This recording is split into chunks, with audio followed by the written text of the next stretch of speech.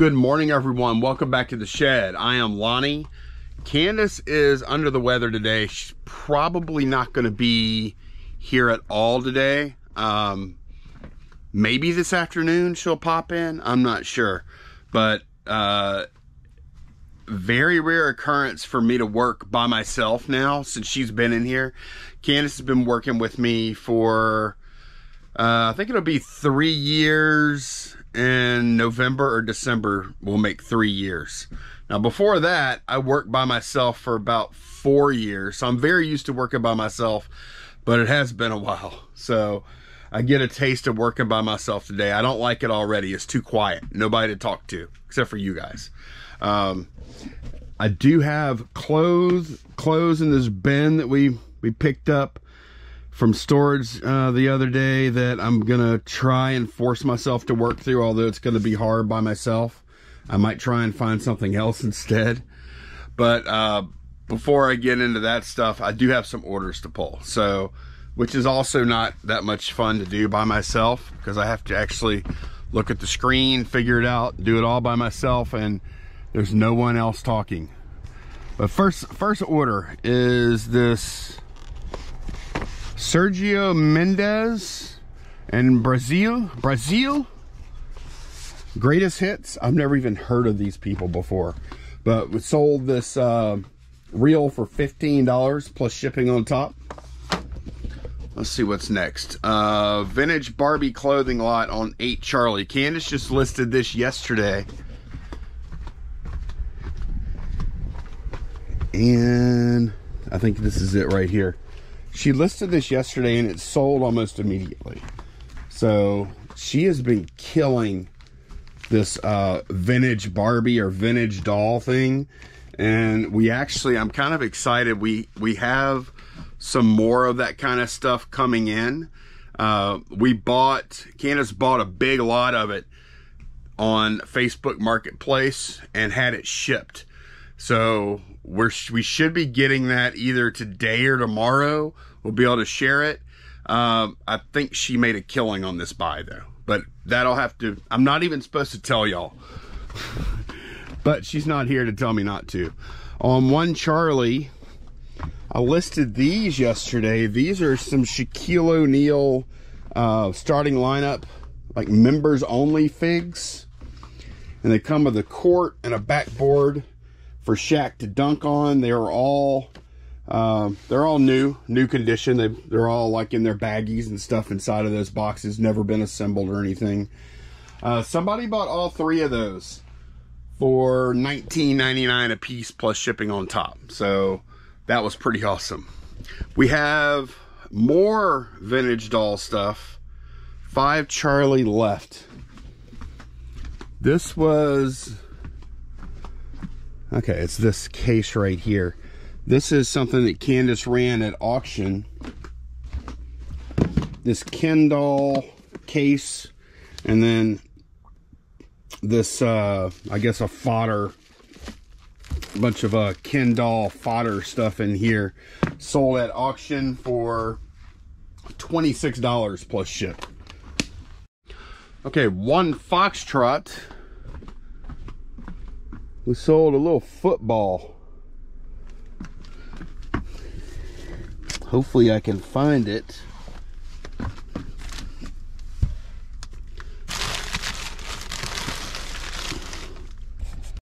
Okay, I dug it out of there. I had to, it was behind a bunch of other stuff. Man, if I had unlimited space, I would never store anything on bottom shelves. They would just be empty. Maybe they would have some boxes on them or something uh, to store. But I would not store inventory down there. I had to get down on the floor. Um, the older you get, the harder getting down on the floor. And then, well, getting down on the floor and back, getting back up kind of sucks. But uh, yeah, we sold this little Super Bowl souvenir football thing for eight dollars plus shipping no eight ninety nine plus shipping on top right on 5 Delta, we sold a uh, pie plate. And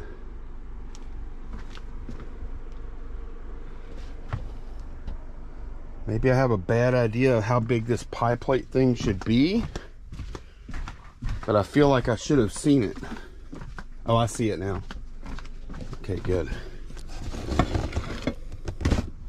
Here we go. This is a lemon meringue pie plate. It's got the whole, um, got all the baking directions on and everything. A recipe, that's the word I'm looking for.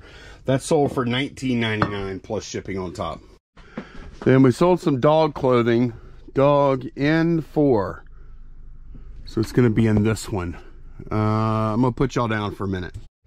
All right, got it down and opened up and looking for this one right here, dog N4, which is pineapples and it is supposed to be size medium, which it is.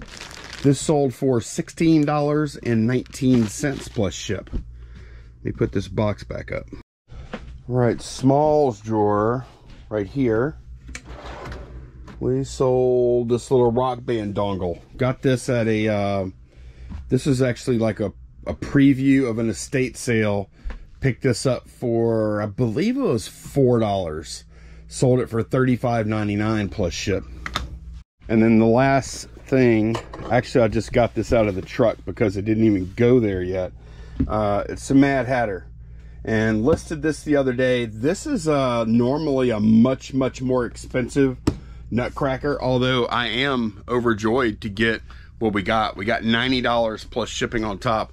He's missing one of his hands that actually has the teapot in it. He has the teacup, but he's missing the hand with the teapot. And Candace, Candace actually emailed Steinbach just on the off chance they would potentially sell us the teapot and they never replied.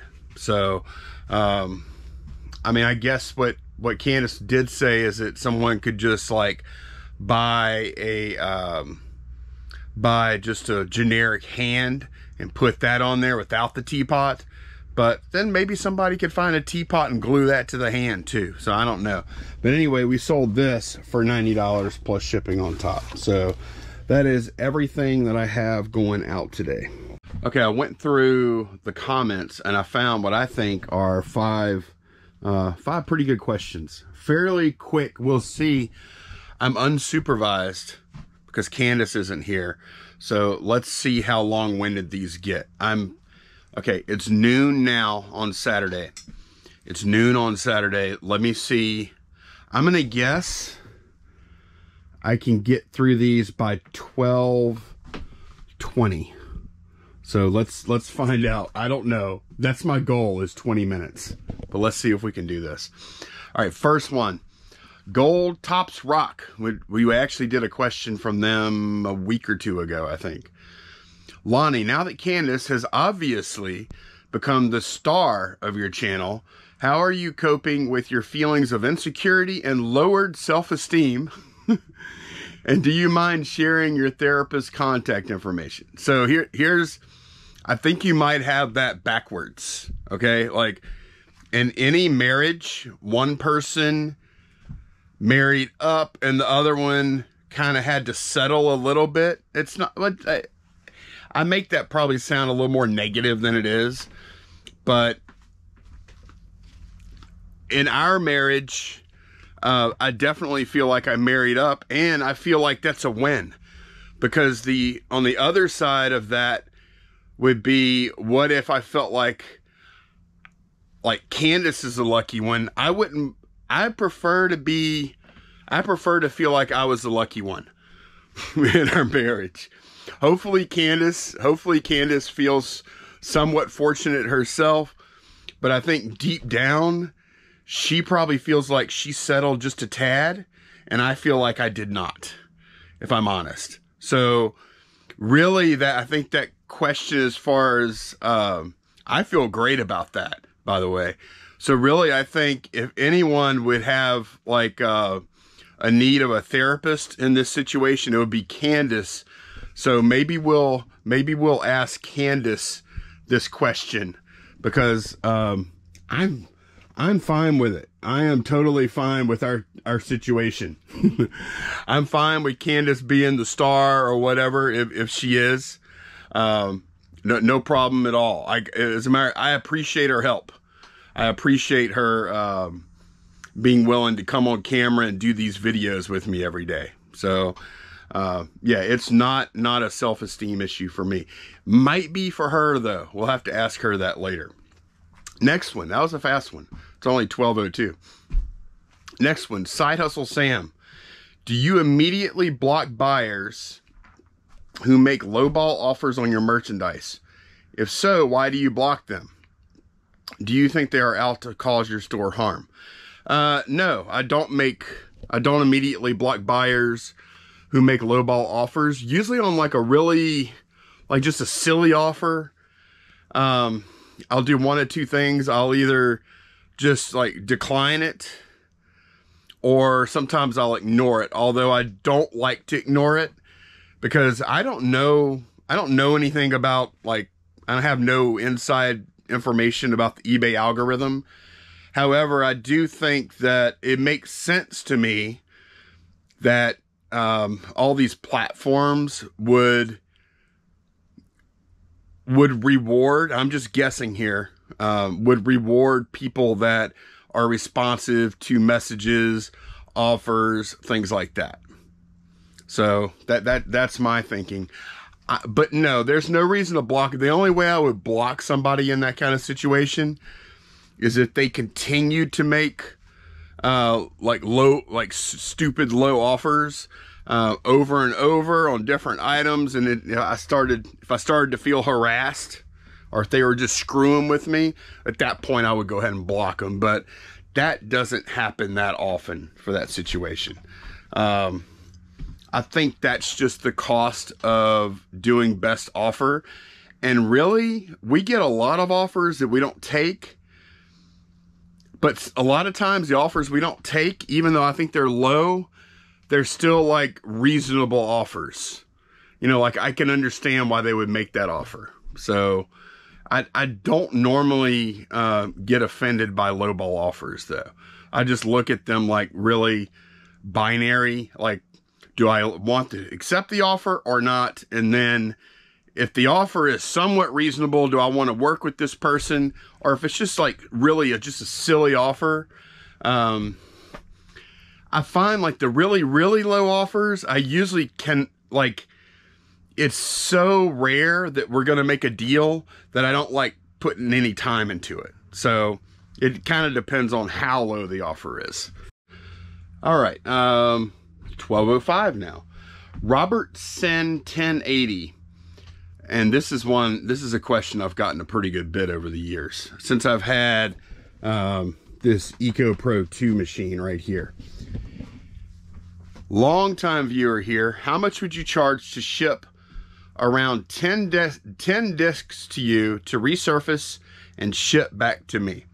And I actually thought about doing that as kind of like a side hustle whenever I bought that machine because when I bought it, ah man, what was it? I think it was it was around $1300 when I bought this Eco Pro 2 and it was a lot of money I thought, but then now they cost even more. They're like over $1600. So being that it cost that much, I was like, man, I need need to get my money back out of this thing, you know, like can I use this to make money? But then the more I thought about it, the more I just saw all these problems. Like, first of all, how much would someone be willing to pay for you to resurface a disc? Like if they sent you 10 discs. I'm thinking they probably wouldn't be willing to pay more than about 30 bucks, okay? That's what I'm guessing. Now, the next thing I thought was they're probably not going to send you discs to resurface and I'm not talking about uh, you, Robert, in, in particular. I'm just talking about general thoughts. They're probably not going to send you discs to resurface unless they're higher value disc, right? So I kind of feel like if something gets screwed up, like because resurfacing disc is it's pretty easy and it just about always works. Sometimes you have something go wrong or or sometimes um, you can resurface a disc and then it just doesn't work afterwards or sometimes you you get a disc to I could see this happening a lot. You get a disc to resurface, super scratched, and like there's a little crack right right right by the ring. There's a little little hairline crack, and once you put it in here, that crack gets worse and goes up into the data part. You know, and maybe the person that sent you the disc didn't even notice that little that little crack. Um, there's stuff that can go wrong there. They could also, but people could also lie about what they sent to you, right? Like they could claim they sent you uh, these discs, but then you say, no, no, no, you didn't send me those discs. You sent me these, see? And then they call you a liar. What do you do then? Um, also, let's say uh, do 10 discs that are worth, and let's say the 10 disc have a retail value on eBay of around $200, right? They send the disc to me. I resurface them. I send them back. Let's say they don't receive them. Now what? I just think of all of these issues for the money. I don't think it's worth it for, for us, for me.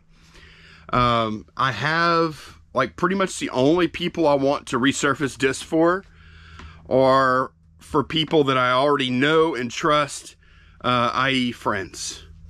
I have done that before. Like we've gone on trips before, uh, picking trips, and I've actually just brought the machine with me and say, yeah, here, you can use it much as you like. Here's how it works and let them do it. That's the, that's the way I prefer to do it if I'm going to do it at all. But no, as far as like, uh, using that machine to like do bulk discs for somebody, I am just not interested. I see the the amount of money that I can make off of that is pretty low, and the amount of liability I would have if I did that is really high. That's the way I look at it, and I just don't want to do it. Also, this machine is awesome for like a small little resale thing like we're doing. I don't think it would be great to do like a lot of bulk for someone else. I think a next higher level machine up would probably be more suitable for that. One of them that's automatic where you could just load a stack of disc in and then hit go and walk away and they're done. Like this one is really easy and really good, but it's not quite it's not quite commercial level, I would say. That that that's what I would say about that. So no, I um I mean, I I really don't think that's a good idea. Okay, 1210. This is going very, very fast. I might want to slow it down a little bit. Um, this is from Gem Drops. Do you notice any feedback in using the butcher paper versus using newspapers to use as purchases? Okay, so I'll, I'll go ahead and answer that before I read the rest. Um, I do not notice any difference between newspaper and butcher paper because I I haven't used newspaper in over five years. And the reason I don't like to use newspaper is I don't like how whenever you handle newspaper and touch it, it makes your hands dirty. I don't like that. so I choose not to use it. Now, if if I got a package that was packed, padded, or void filled with newspaper, it wouldn't bother me. Um, the only thing I would say about newspaper, newspaper is really thin. It's uh, Newspaper is not quite as thick or not near as thick as this stuff here. And uh, newspaper, when it flattens out, like when it gets compressed, it's much more likely not to have as much spring back, if, if that makes sense. And I, I, I think the I think the void fill or cushioning capability of newspaper degrades uh, really quickly, especially if it's old used newspaper that's already been crumpled before. Does this make sense to y'all? This kind of paper here, um, I think does a much better job than newspaper. But if you're using newspaper, you got a bunch of free newspaper out there and you're using it, I don't I don't question that either. That's that's fine. I'm just telling y'all what I choose to do. Now, if the newspaper is clearly dirty, yeah, no way. But you know, clean used newspaper, that's that's fine. I don't love it. Um, I don't like touching newspaper. I, maybe that's just a thing for me. I think newspaper's nasty with all that ink and stuff. Do you get any feedback in using these papers? I don't get feedback in particular for paper, but I get a ton of feedback for the way I pack. And I don't I don't try and make it like some boutique experience when someone opens a package, but whenever someone opens one of the packages that comes from us, I do want them to to think that okay, I see where they took some care and they gave a damn about my purchase. Oh, and look, here's a card that says thank you, and here's a sticker. That's nice, whatever. I just want them. I want the the packaging and the presentation to make a good first impression because I feel like if you pack like half if you if you do kind of a shoddy job of packing even if the item makes it there somebody opens it and they're like, you packed it like this. They're to really like put that thing under the microscope and be super like if anything else went wrong. Like let's say the package took through no fault of your own 10 days to get there and then you kind of you kind of half-ass packed it, right? And then they get it late. They're already going to be like, huh, I got it late. Let me see what else can go wrong. They open it and it's like just really like just like bare minimum packing. They're gonna be like, ugh. And then then they're gonna like really pick that thing apart and look for anything to complain about. So I think that like if let's say the item is is running late and then they get it and then they see that you packaged it well and took care and wrote the little thank you thing or whatever that might be able to disarm some situations too. So that that that's my thought. I do get a ton of feedback about packaging though. So I know that packaging is very important to customers. Um, I know I find it annoying when I get packages with the peanuts that get everywhere. Yeah, um, Love hate with packing peanuts. I don't choose to use them anymore typically. However, I do know that packing peanuts are excellent void fill and cushioning, you know, protection. It doesn't get a whole lot better than packing peanuts. So, on one hand, I, I, I agree with you. Like when you open the box, take your eye to pack the peanuts go everywhere. However, that's tempered by the fact that that person actually used a great great packaging to protect the item. And I, I choose to look at the second thing and, you know, I consider a few packing peanuts I have to pick up off the floor later. That's pretty trivial. That doesn't bother me. Um, do you get specific packaging requests? Sometimes. Um, back when I used to be brave enough to sell turntables on eBay, I found the turntable buyers were very, very specific about how they wanted their stuff packaged. Um, some of them would even go so far as to put like step by step everything to do uh, for good reason because I can definitely see most eBay sellers that don't specialize in shipping turntables um, doing a pretty bad job of it. I've done a bad job of it before had them get damaged. So I have gotten like people that buy turntables are extremely picky about the way it's packed for good reason. Another one, uh, I've had typewriters before where I had a guy send me a video. This is like a $150 typewriter I was shipping out. And he was very nice and he gave a bunch of, uh, bunch of tips on how to pack it and he's even included a video, a YouTube video on packing a similar typewriter. And so at first I was a little put off by that. But then I was like, you know what? I'll just, this guy's must have been hurt before on eBay. I'll just thank him for the tips and I'll actually just go through and watch the video. I'll pick up some ideas from it and I'll implement them on this pack. And I did that.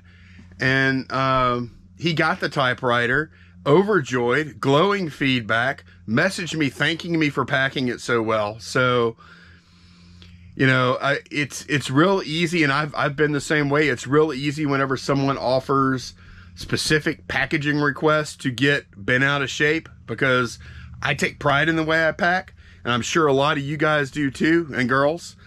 But you also have to remember that there's a lot of people on eBay if you if you shopped on eBay a good bit, a lot of people on eBay that do not take pride in packing and uh, a lot of the people, a lot of our customers that we have uh, have been burned by those people before. So it has nothing to do with you. It has everything to do with some of their past experiences. That's the way I, I look at it now. But I still do get a little bit out of shape. All right, 12, 8, no, 12, 19, and we have one more question. So this is going pretty well. This is from Colleen Moriarty. 1309. Do you think by having a store, they give you first advantage or bump in algorithms? And the reason I included this one is because uh, similar to this, wait, there was another question. Oh, where I was talking about offers and I I, I theorize that you know eBay likes to see you like responding to questions quickly and things like that. That's just a total guess. I'm pretty careful on this channel um, because I see a, I, I do see on other YouTube channels, and I'm not throwing shade at anyone in particular, but I see on a lot of other YouTube channels, people think that just because they have some amount of viewership and they're putting up videos and maybe they've been selling on eBay for a while, they think that that experience and the fact that they have some type of platform to speak from um, they think that they can uh, just make up theories about the eBay algorithm and then present them to their viewers as fact. And, you know, uh, most viewers, I think, are savvy enough to take things like that with a grain of salt. But some newer, newer sellers or people that are new to reselling might see this, this, this YouTube channel and see what they're putting forth as fact about the eBay algorithm um, and just take it take it like at face value. So whenever it comes to talking about the algorithm, I I am pretty careful to not not just make just make stuff up or guess or say, you know, in my experience, the algorithm does this or that.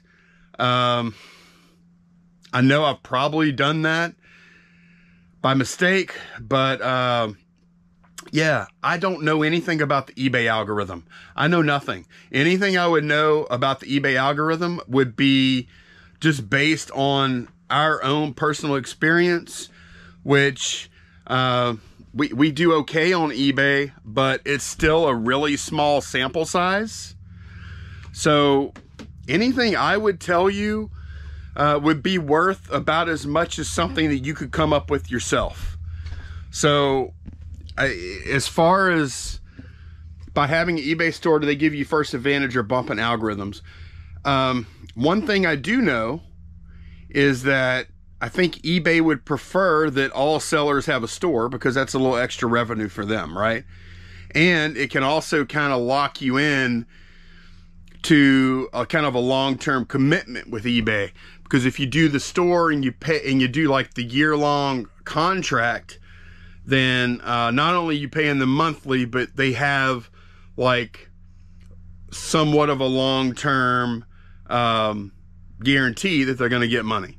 So I think eBay likes likes selling stores a lot. They like us paying for stores. It's easy money for them. Um, but the question is, do they like it so much that they give priority to those listings versus someone that doesn't have a store? And the the the honest truth is, I don't know. Uh, I it never occurred to me that that was a, a thing, and um, I'm not going to guess about it here. I I don't know. That's all I'll say. It would make sense if they did, but it would also make sense to me if they didn't but with eBay, who knows? Now, um, I will also say I've been seeing some videos and posts out there about um, eBay approaching some content creators, and I keep wanting to say INAD, but they're offering them some type of access to eBay bigwigs or extra information or maybe marketing material. I don't know because I haven't received anything like this in exchange for that co said content creator signing an NDA. And it sounds like basically kind of trying to control uh, creators to some extent. And I have not been offered anything like that. And uh, just want to put it out there. I would never sign anything like that either. I would not sign an NDA uh, limiting what we can or can't say about eBay. So uh, overall, I love eBay. Y'all know that. We've been selling there for years. I'm also very critical of a lot of things eBay does too, especially regarding like uh, my biggest beef with eBay would be promoted listings. But there's others too. So anyway, long, long answer, short. Um, I don't know about the, the algorithm and I have not signed an NDA with eBay. Although if I had, I don't think I would be able to say whether I had or not.